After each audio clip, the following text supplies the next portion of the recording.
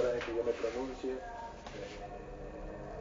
estar pasando eh, Ah, por esta justicia después de seis meses y hoy tener una decisión donde el TAS ratifica 14 meses de suspensión. eh, ¿Para qué chucha durísimo. pelas?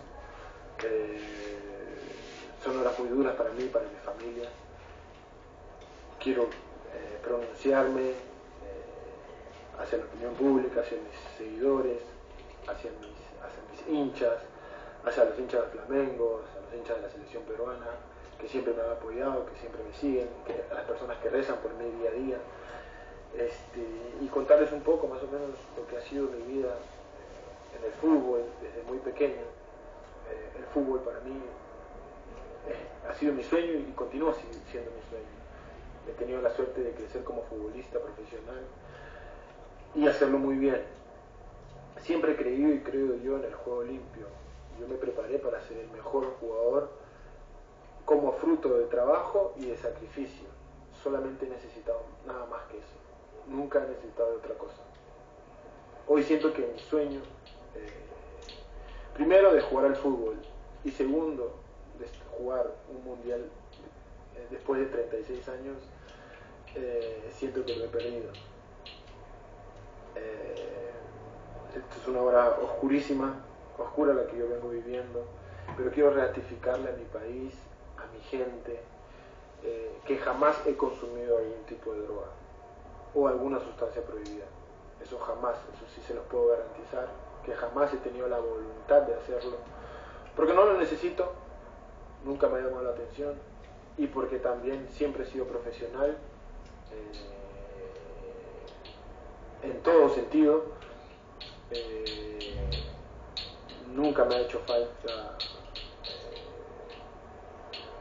hacer probar ese, ese- ese- tipo de cosas. Eh, he llevado incluso charlas desde muy niño para saber las cosas que yo puedo o un, atleta profesional puede consumir y las que no puede cons- con- consumir, ingerir. He sido claro, yo en la última audiencia en ese aspecto les he dicho todo lo que yo pensaba y todo lo que y cómo he crecido yo a, nivel de, eh, futbolísticamente y eh, personalmente. Cómo mis padres me han criado desde niños desde niño eh, los valores que me han dado la educación que me han dado. El fútbol para mí nace sobre el talento y mi condición física. No me basta de eso entonces eh, este tipo de cosas están fuera fuera de mi alcance fuera de lo que yo puedo hacer yo quería contarles que en el curso de este proceso eh, he demostrado varias cosas. Primero, nunca he consumido una droga. Eso ya fue eh, probado. Segundo, nunca tuve la intención de mejorar mi performance. Cosa que este té tampoco mejora performance. Así que no tendría por qué yo consumirlo. Eso ya fue probado en la FIFA, en la UADA y en el TAS. Y tercero, que yo estaba bajo régimen de mi equipo, bajo régimen de la Federación Peruana de Fútbol, bajo protocolos de seguridad y nutrición. Tomé un té